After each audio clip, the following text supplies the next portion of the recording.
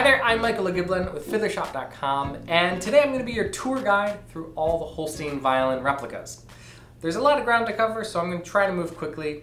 But what you need to know is that there are three levels of instruments. We have traditional, workshop, and bench level instruments. And now you can expect the sound quality to improve as we move up the levels.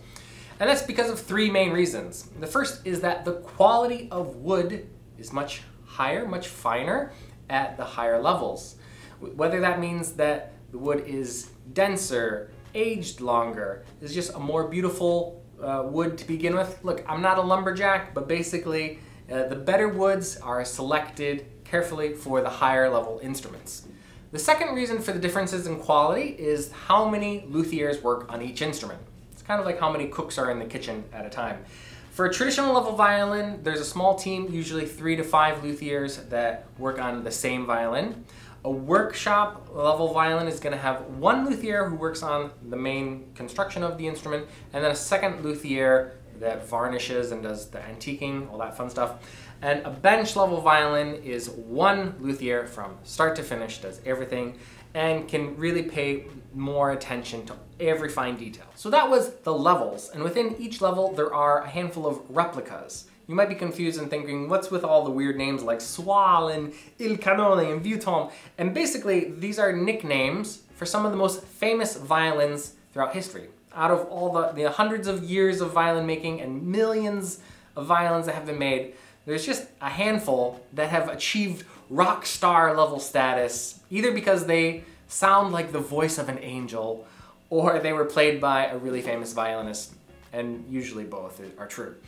And so the super nerds got a hold of them and recorded every measurement of length and thickness and curvature, and they took uh, x-rays and CT scans and frequency analysis, and they took pictures of the pigments of colors and the uh, every blemish when the drunk violinist, you know, opened the case and the violin fell out. And they recorded all this stuff. And all this information has been invaluable to modern makers who seek to replicate these most famous violins.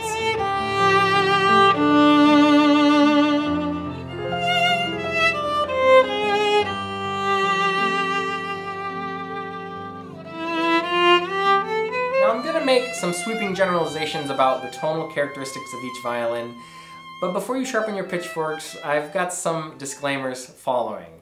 But in general, the Guarneris, Magginis, and Amati replicas tend to be a little darker, a little warmer, while the Strad template ones tend to be just a little brighter. I think this graph is a great way to visualize the tonal properties of all the replicas in one place. You can see the Lord Wilton, Maggini, Cannone, even the Plowden tend to be on this warmer, richer, deeper, darker side of the graph, while the Kreisler, David, Amati, even the Panette and Stradivarius are more well balanced and they have a wide uh, tonal range, you might say. And some of the more focused ones are the Soil and the Red Mendelssohn. I don't really like making generalizations like that because there's a lot of variables that go into the sound of an instrument. There's the instrument itself, sure, but there's strings and bow and bridge and sound post placement and you. And all those things can make a big difference and you can adjust the sound of your violin quite a lot. But also because perception is different for every person. I, for instance, don't think jalapenos are that spicy, but you might think that they're unbearably spicy. And just as well, I might think an instrument is warm and deep and luscious, and you might think that it sounds cloudy and muddy and vice versa.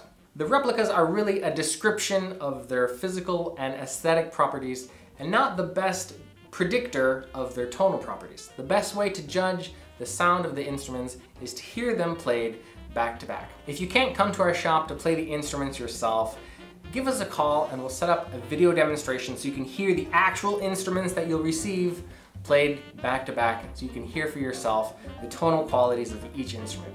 We look forward to serving you in that capacity. Thanks so much for watching this, and we look forward to seeing you at fiddlershop.com. I hope that was informative and helpful. Yeah, if you want to buy this product, just click right up here. Right there. Do it. There, we do would it. also love it if you subscribe to our channel so we can keep in touch. It's right over there. And if you want to learn more about us, click right here. Buy our Papa Philly shop.